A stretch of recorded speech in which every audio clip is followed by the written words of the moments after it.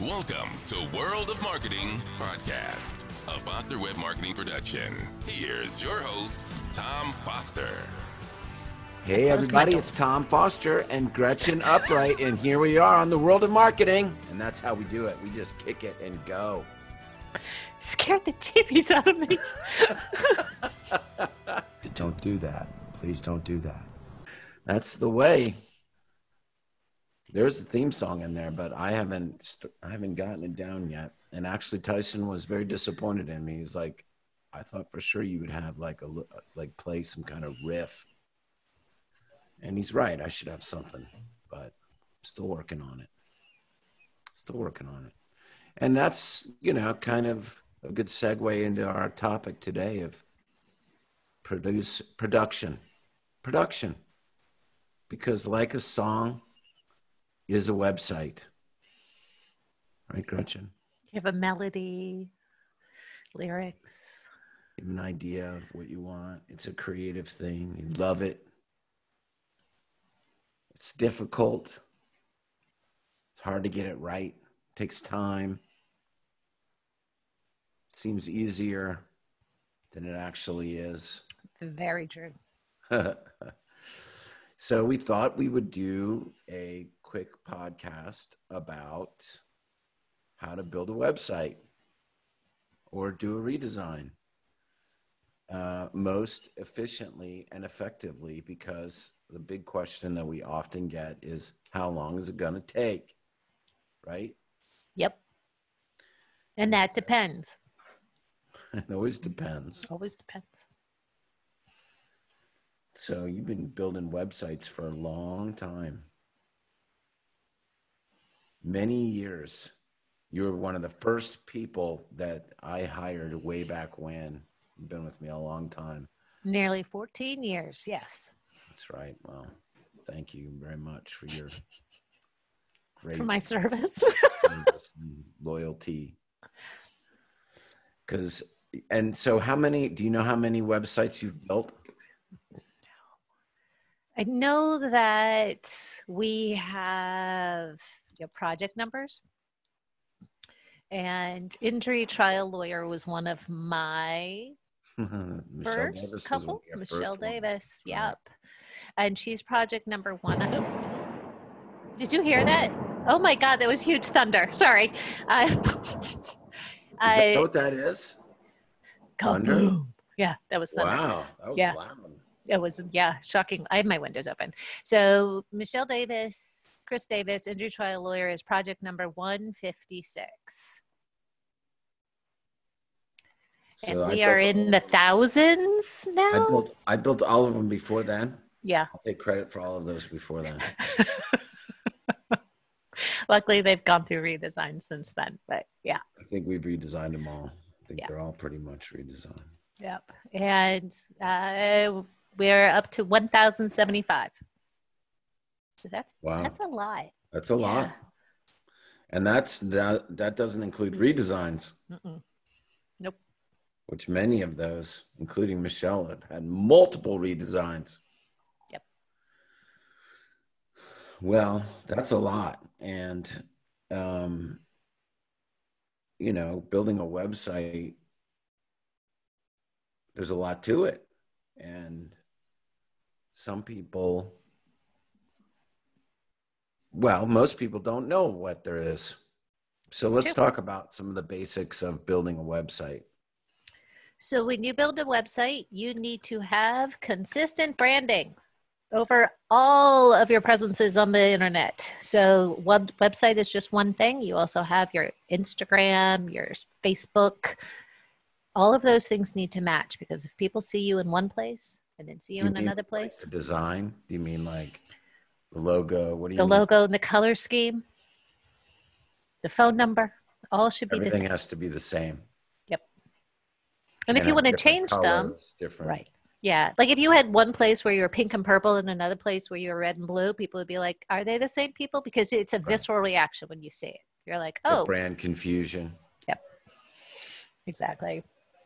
The other thing you need is white space. A lot of people want to just keep throwing things in, throwing things in. Oh, there's space there. Your eye needs a place to rest, otherwise, it gets so confused. And there's a theme going on here. A confused mind doesn't buy, they leave. So if you're confusing people, they're going to leave your website without contacting you. Do you have a favorite website? Right now, my favorite website is Van Smith's website. Oh, Van Smith. Oh, he'll be so happy. He Let's pull be. up Van Smith. Let me pull that up.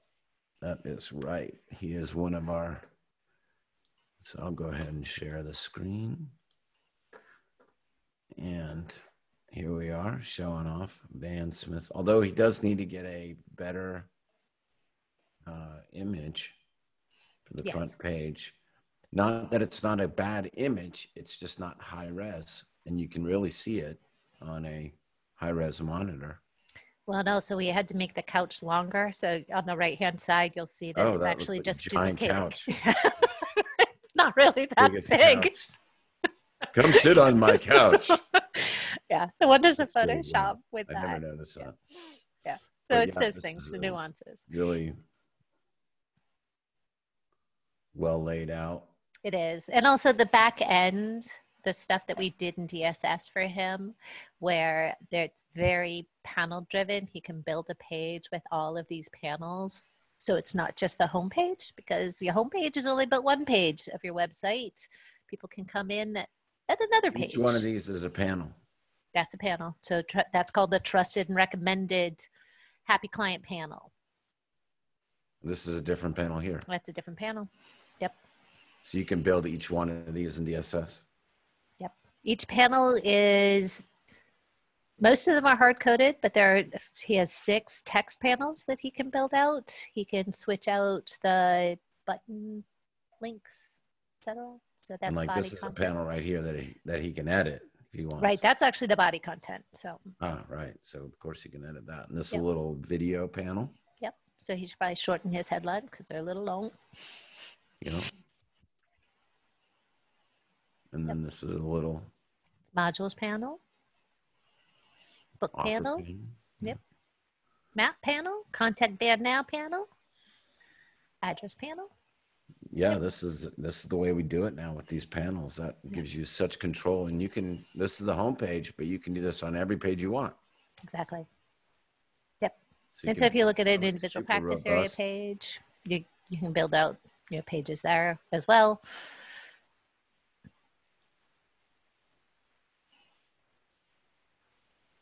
yeah, that's a panel. Mm-hmm. Another panel, another panel, Yeah, another panel. but I get what you mean. Like just you're right about the big white space. Yep. it's really good, and obviously this performs really well on mobile too. That's big consideration as we're doing these designs, which is something you need to think about. Another big thing that I know that um, is is a pet peeve is images. So what what can you say about you know because we just said a little bit about it about like this isn't high res. Um, you want to get It's a balance right.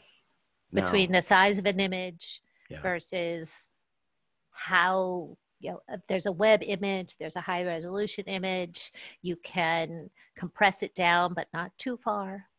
Um, and one of the things that i don't see it as much anymore but people would like to have the carousels in the header but that we've backed away from that for a couple of reasons. One loading all those images takes time and it's mobile first now. And if somebody's on your cellular service or on a 4G, they're not going to be able to load all that stuff. Then that's not a good experience. because it has to preload all those images. Right. So Yep. it's preloading those images before you even shows one. Mhm. That's just the way that those things are written. Exactly. And if somebody scrolls really quickly, and in this day and age of Facebook, Twitter, and Instagram, people are scrolling. They're not going to see slide two or three or four. So if it's so important, you want to put it in your header, put it as next as the next panel or the next panel so you know people are seeing it. Don't Yeah. guarantee that they're going to see something in a carousel. Little things like that, that just Exactly. experience.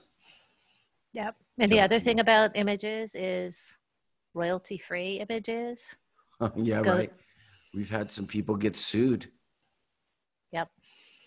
And I did some research last week in doing the attribution like somebody else took this picture is not good enough. That does not get you out of copyright. That is still, you need to get permission and give them credit. So go to Adobe and buy an image. There's a list. If you Google it, yeah, royalty free image sites, you can get royalty free images. But honestly, it's worth the money to buy it to get a subscription. If you're writing a lot of content, definitely have images because it is more eye catching. People notice those things.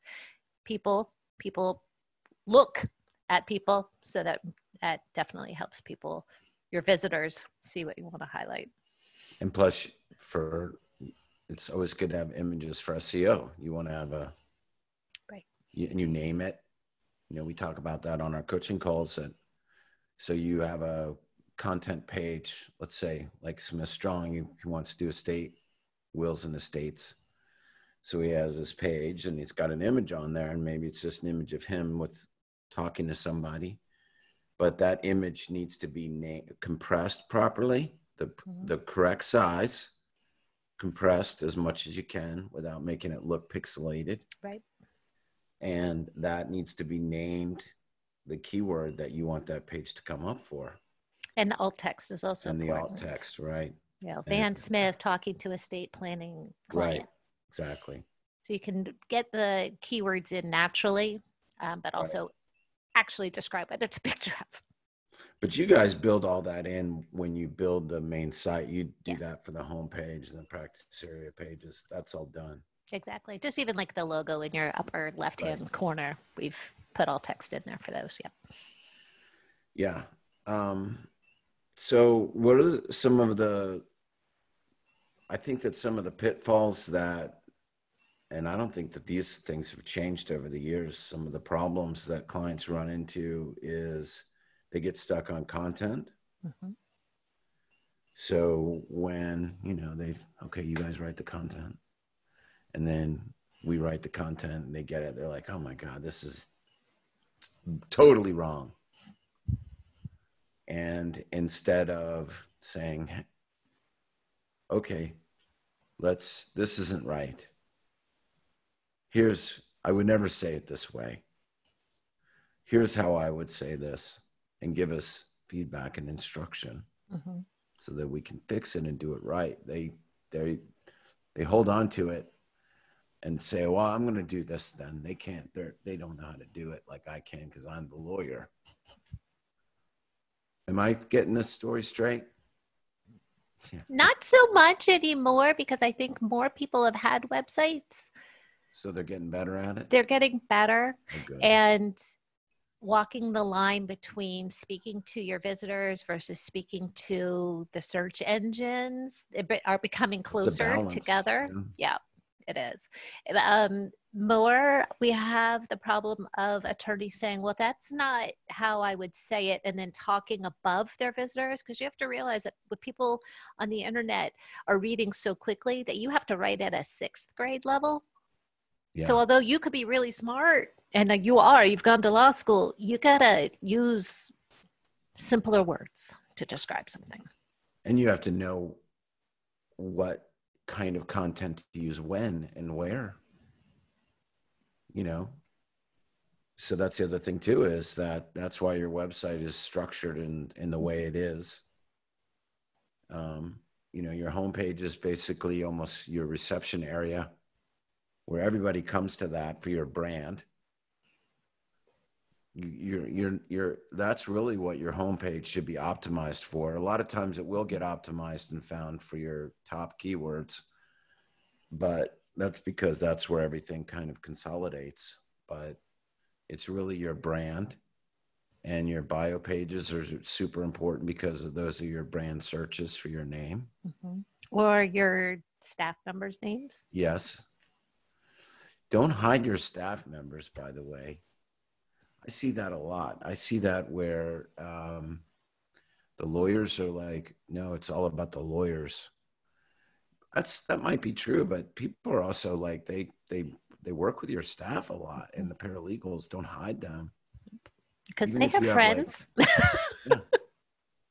Yeah. They're going to look for them. and and they have they're probably more engaged in social media than you are anyway Yep. so that's an opportunity that if you're hiding them that's dumb. Stop doing it. Stop doing it. but yeah you want to get everybody's bio up there. And you know so uh, get the content approved you know work with the content team. Mhm. when get get the images get all of the resources which is primarily approving content and getting images to you guys as soon as possible So the way we build a website is we have our questionnaire call. We talk about how you want your style, your tone, how you want to be portrayed on the internet.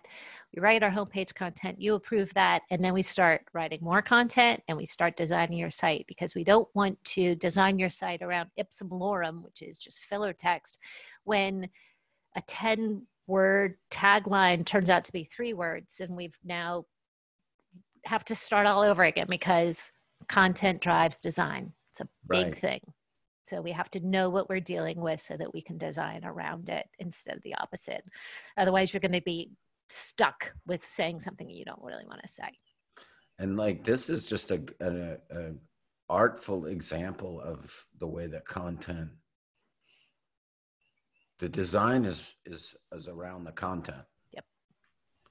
and so a lot of thought went into the way that this was laid out Just even the be a button, schedule a consultation. Well, if it was schedule your consultation today, well, that's going to have a different feel. Because Yeah. now we have to throw in another word, so it's going to get all off balance. And yeah, Not that it can't be changed if that's No. what somebody chooses to do. absolutely. But we like to have it at the beginning. Yeah.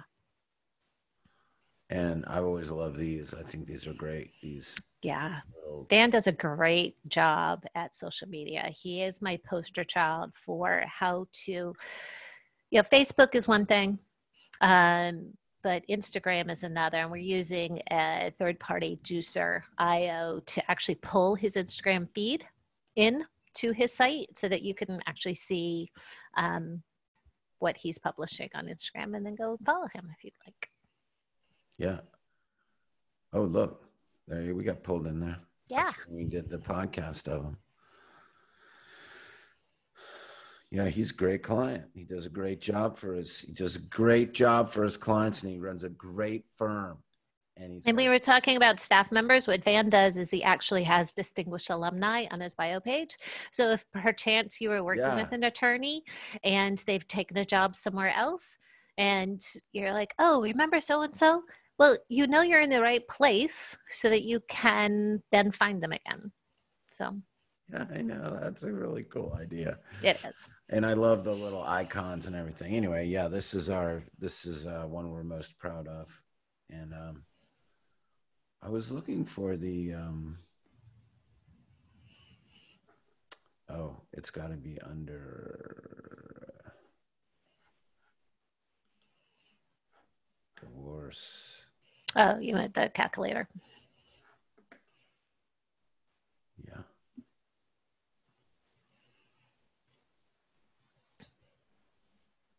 Here we go.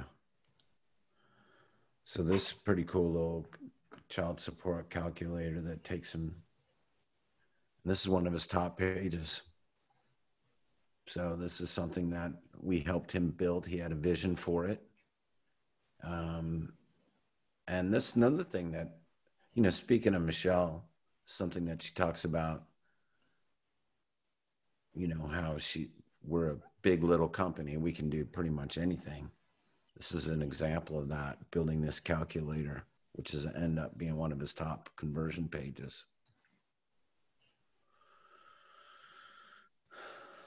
But he was a big part of all of it. And you know you guys meet what once a week or every other Not anymore. Once a month. not anymore not that you're through this so i still meet with him once a month and it's you know all, but he's still got to do the same stuff still feeding content um but yeah Yep. So how long did this took a long time? It did. Yep. But we're always kind of pioneering into new worlds with Van. Mhm. Yeah. And the nice thing is he was willing to work with us on the new functionality of DSS. So it, you know, it started with him. And then when we built Psalm's site, Dragon Gem, we took it a little further. and We're doing a redesign for GLM. So we're gonna think gonna take it a little bit further. So Yeah. redesigns are my favorite because we have clients who know how to use DSS and have those fundamentals under their belts, and now they're going to try and take it a little bit higher. And That's always fun. And the big thing with the redesign, the new redesigns, the version fours, is because of the panel editor Yes. being able to have such total control over each page the way that you do now. Yep. Exactly. And using the panel editor, you can build your custom pages. We touched on that a little bit with Van. So if you're doing a PPC campaign, I've seen clients send people, you know, they've got Facebook ads and they send people to their homepage. I'm like, your ad is talking about estate planning, and now you're sending me to your homepage, which is talking about estate planning, Right. probate, tax planning, and people get confused. So if you have a PPC ad, send them to a page that matches. So if your headline is have a question about wills, your page should also have the same headline so that people Isn't that funny that you have to say that out loud? Like that seems like common sense, but it's true. And you know, we talk about that every day in our coaching calls that you know, you're talking about pay per click, but that's true of content. That's how you have to think of keywords that you can't have your homepage be all things. Um, your homepage is just your brand. And so if you're advertising your brand, okay, then advertise your homepage. But if you're advertising estate planning, then go to your estate planning page. And you do that whether you're advert whether you're paid advertising for keyword, paid keywords, land them on that page, link to that page, I would actually build another page, but that's or me. build another one. or organic. So that page is the one that you want to come up for organics and make sure that it's optimized. And this is kind of part of what we were talking about when we were talking about the images earlier. That's just a small, you know, another another couple of check boxes in the Google algorithm that you have to do. Yep. So, you know, keywords in the page title, keywords in the header, H1, H2, H3. How many links? Is there too many keywords in the body copy?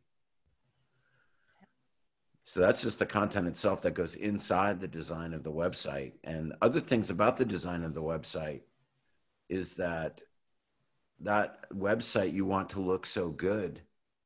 Well, there is a balance balancing act that you have to do as a coder and you have to work with the coders and the designers to be able to load this page as fast as possible that's the other thing Yes.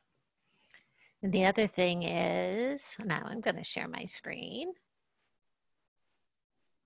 Is calls to action. there you go One of the things that I learned from Ben Glass, and I don't even know if he remembers talking about it, but it was the difference between requesting a book and ordering a book. If you're going to order something, that implies you're going to pay for it. So most people are offering free, but they say, order my free book here. And that's a disconnect in people's mind. And they're like, nope, I don't want to. There's a trick. I'm not going to do that. So it's request, request, request. But just even things like, you know, the most effective words are start, stop, build, join, learn, discover. You know, learn more is kind of weak. Yeah, you can learn, but start today. Stop wasting money. Build your Yeah. future. Those words are so much more impactful. So, yeah, I've got this running list of words that are, you know, only three days left, limited supply, closing soon. You have to hurry upwards, you know, give something a try, maybe a calculator. Yeah. So I do spend a lot of time on people.com because they have the clickbaitiest headlines ever that you're On just what people? people.com. Oh god. Well, that's yeah. a great that's a great clinic. Is all of those uh, Cosmo, Yep. just news sites in general, what they do to to uh, the way that they the way the ads are displayed within. Start paying attention to that. You're right, Yeah. because that is that those are just clinics and clickbaiting you. Exactly. Yes. And so use them to your advantage instead of, you know, because I, I do read with an eye to, ooh, I do want to know the answer to that question. because you're i mean like you're right so there's all these things that go into it you know no matter what everybody's going to come to your website to a page on your website probably more than once most certainly more than once if they're going to hire you and so usually it's assisted conversion and that's kind of what you're talking about but you're talking about converting them. Mhm. but you know if, if somebody does the way it normally works for us and this happens regardless of what we're looking for something like this. We have an idea for something that we either want or need. And so we might ask a friend hey do you know about this or about this thing or whatever and they say oh yeah here's a good brand or i've used this person oh really cool thank you that's all I needed for my first stage. Clickety clack on our phone or desktop, do some quick research. That's cool. Um, and then if that brand speaks to you, then you'll do some further research on that brand. If it's enough, you'll contact them. Yeah, I was talking to a client, Brooks and Crowley, up in Boston, and he said, Yeah. I'm an attorney. I know my neighbors. My neighbors ask, Oh, do you do this type of law? And I do. And then they Google me.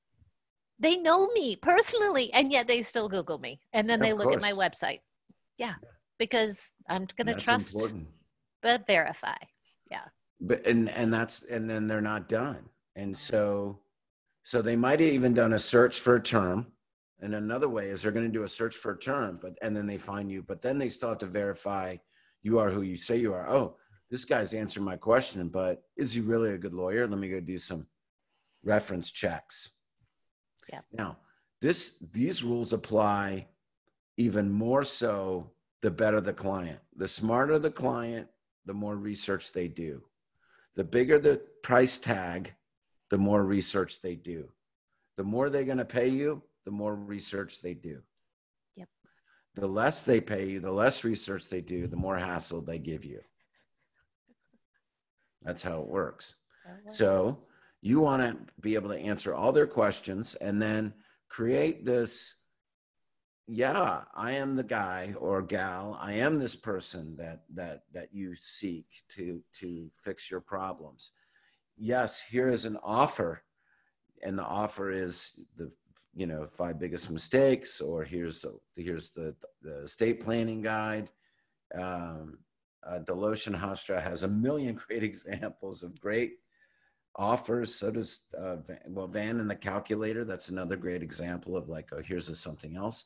All these resources, people are like, wow, that's great stuff. And then of course, once you start getting the resource or using it, then the drip campaign begins.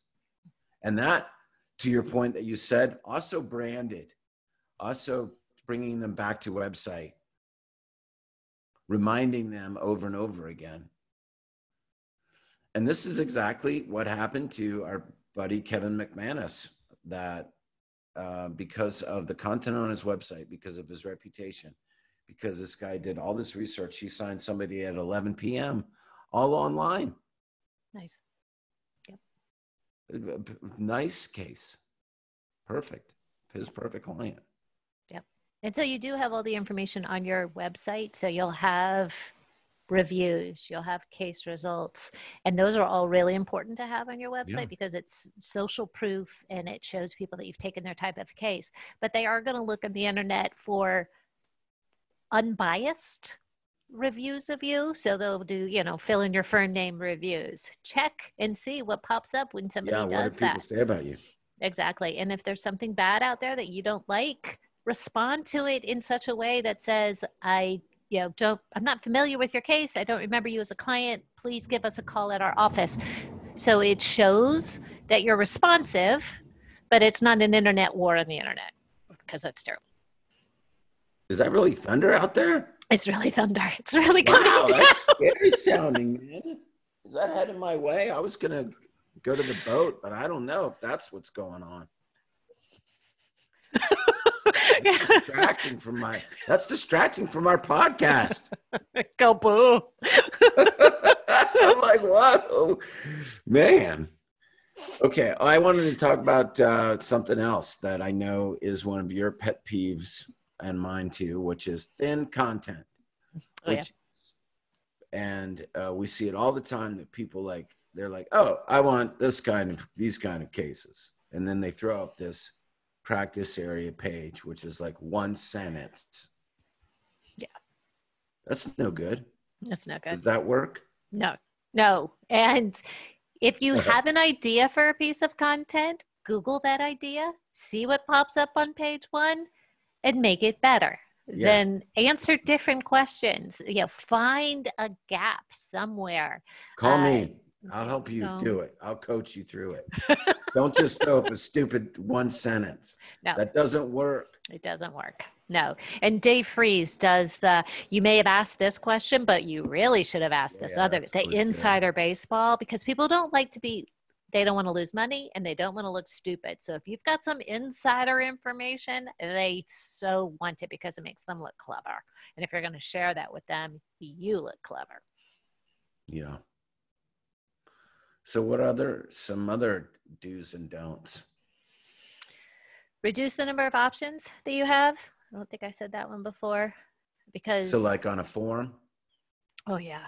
don't ask a lot of questions you don't need if it's. Yeah. If it's name and email and then you've got all these optional fields people are not going to see oh this doesn't have an asterisk. I'm not going to fill it out. They're just going to look at it and say no.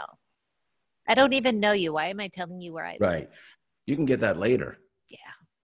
Right now you're just trying to get them their name and email most importantly. Maybe their phone number. Maybe. But, but, that might be a um, little much too. If you're just you know doing an email newsletter then just be happy with the fact that they're giving you any part of because there is a cost to them then they don't know you yet so you've got to earn that trust right And if you have three buttons on the top of your page, and then the next slide or next ban, uh, panel has five more questions with buttons, it's too many options. People are going to be confused and overwhelmed. So just pare it down to the really the basics that you need. This is what I do. I do estate planning, I do personal injury, if you're in a car accident, and then people can go into that page where they are and they can get there immediately, and then you can help them from there. so very simple Yes. Very simple. And my rule of thumb Yeah. is if my mom can't do it, it's a bad idea. If she's confused, do something else. we always say make it kindergarten friendly Yes. Although kindergartners are getting so much smarter that now it's my mom. Maybe- yeah. Agreed. And she's a smart lady, but yeah that's true common sense yeah. And you know, I mean, there are differences, and I got to say it, between like a WordPress website and what we do. Um, we were just talking about it. It looks pretty, but there's a cost to make it look pretty. And if you're not balancing the cost of that with speed, because that is what Google's looking at, is how fast websites load and grading you on it. Because they want the experience to be good because they're being judged on the results that they've provided. So right, make sure you keep coming back to them. Right. So you've got to be careful about, oh, this looks so good. It was just so easy to throw together. Well, there's a lot of code that goes into making it so easy to throw together. So just be careful. Yep. But with with us, you don't need to worry about any of that because Gretchen will cook your website so perfectly well done and um Or exactly rare. you want it right exactly how you want it exactly Yeah. and um get you going anything else you want to Nope. That's what I got. Um, oh, just the other thing about redesigns Mhm. So, because most people have websites, they're not like, it's very rare that we come across people that don't have a website. They're like, Mhm. what? Websites? That's a thing? That's very rare occurrence. Um, but by rule, every two years, every two years, you should probably be upgrading, redesigning your website. They and get old. evaluating what you have on your existing website what's working Yeah. what's not working. It was part of our redesign process. Our front end development team goes through the code to see what we've added over the years. I just you know i was talking to tiffany at glm earlier and it's like okay we've got this tag and this tag and this code. Do you need all of this? And three out of the four was yes but there's one that we're loading that we don't need to and that everything has a cost associated to load. So if we can get rid of those that junk, recondo your website, and loads we will. faster. it does. Yep. And even just doing Yeah. a content audit, what people Yeah, are finding, what content they're not. Yep. Yep. All that stuff, of course. Backlink audits. Just making sure everything is clean, because like anything else, it get needs to be tidied up and cleaned up. Mhm. And you want to take advantage of the new technologies out there. And like this panel builder is pretty cool. So if you want to know more about it, we're happy to give you a demo, show you the panel editor, panel builder, and how you can make your website super cool and super editable. Editable. Super editable. Super editable in DSS. Indeed. All right, Gretchen. Well, thank you so much for spending your Friday afternoon during a severe thunderstorm. Although it I still have sun- power, so that's good. Looks sunny over there. It wasn't like ominous looking. Although when the thunder was going off, it was a little rattly and Probably because I jumped. like, Ah. what? All right. Well, thank you so much. You're welcome. All right, everybody. It's Tom Foster and my buddy Gretchen Upright at the World of Marketing. We will see you all soon.